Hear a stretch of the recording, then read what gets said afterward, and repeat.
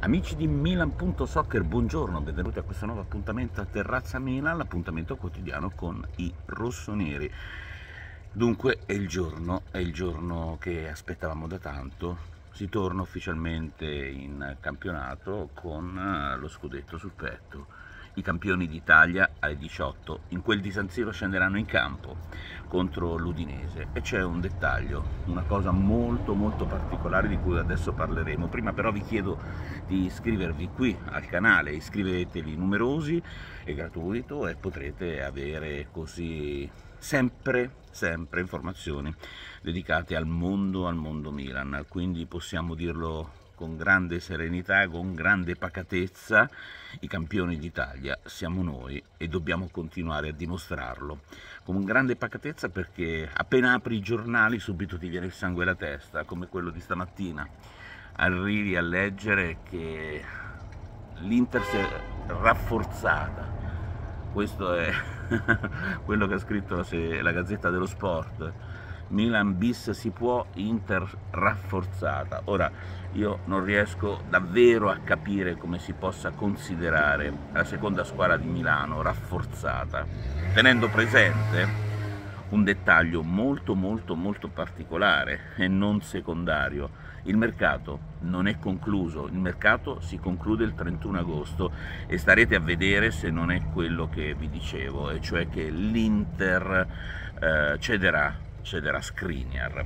Eh, ma torniamo a noi, oggi è giorno, dicevamo, di Milan-Udinese e ci sono due notizie importantissime. La prima notizia importante è che Tomori ha firmato. Tomori ha firmato il suo rinnovo per altri cinque anni, per cui grazie eh, alla tua voglia di restare al Milan. E la seconda notizia è, riguarda invece il pallone d'oro. Eh sì, perché ieri sono uscite le cosiddette nomination. e guarda caso, il destino, come si dice, il karma. Arriva sempre il karma.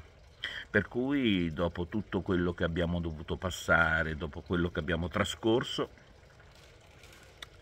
con uh, l'ex portiere che oggi gioca, anzi non gioca ancora, in quel di Parigi, candidato al pallone d'oro, candidato al premio come più forte portiere al mondo, e poi arriva Magnan che assieme a, mm, diciamo così, eh,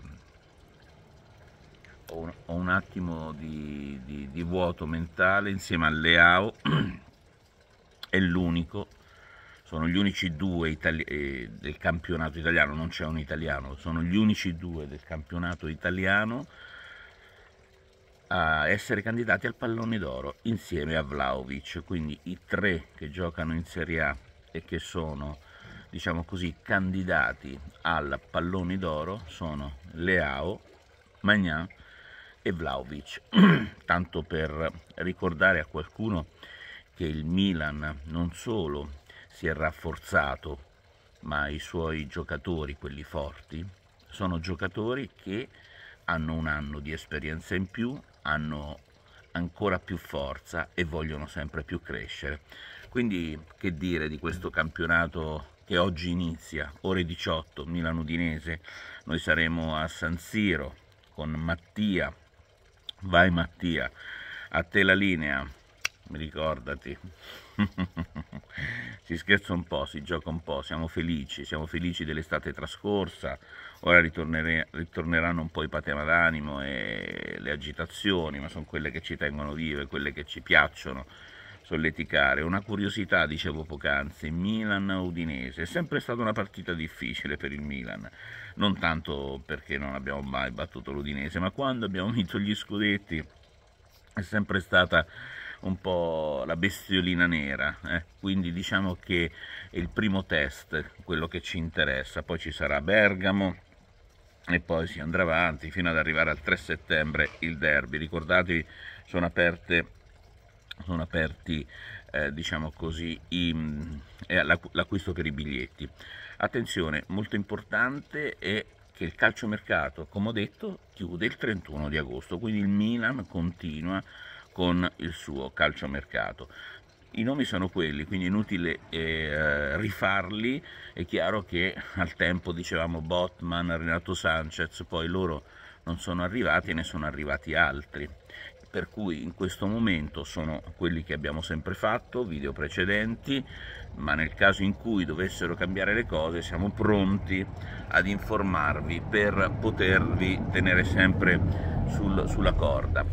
La formazione di Milan-Udinese. La formazione di Milan-Udinese eh, vede dunque in vantaggio Rebic rispetto a Giroud, però tenete presente che questa è la squadra che scende in campo alle 18.30, poi nel corso della, diciamo così, della giornata ne possono succedere di tutti i colori. Eh, nel corso della partita c'erano i cambi, insomma.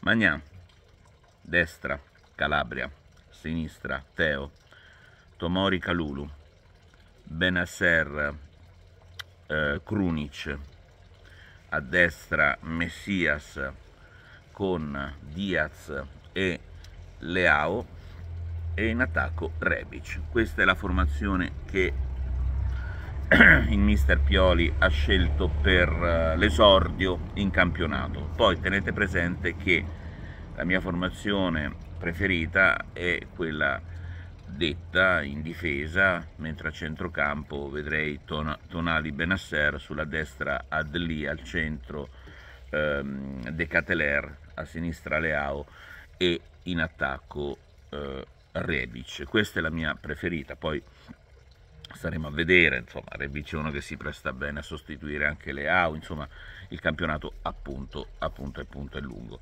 Ovviamente il popolo rossonero in massa, come ha detto ieri in un'intervista molto interessante eh, Sandrino Tonali. Sandrino Tonali ha detto siamo soli noi e i nostri tifosi, che bella immagine, romantica, perché giustamente i giornali ci danno un passo indietro, io non riesco ancora a capire rispetto alla Juventus e all'Inter, ma lo facevano anche l'anno scorso e poi sono rimasti muti e sono saliti sul carro del vincitore. La Roma leggermente sotto al Milan.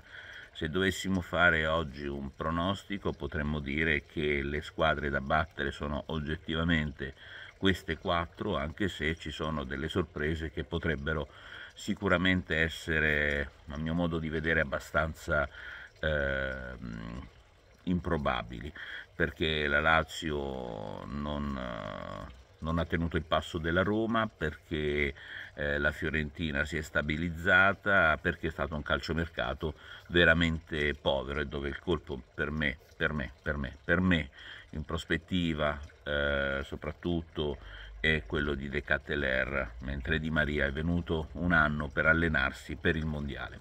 È tutto, ci sentiamo più tardi da San Siro con Mattia, intanto un saluto dalla Germania, baci da Terrazza Mina, ciao!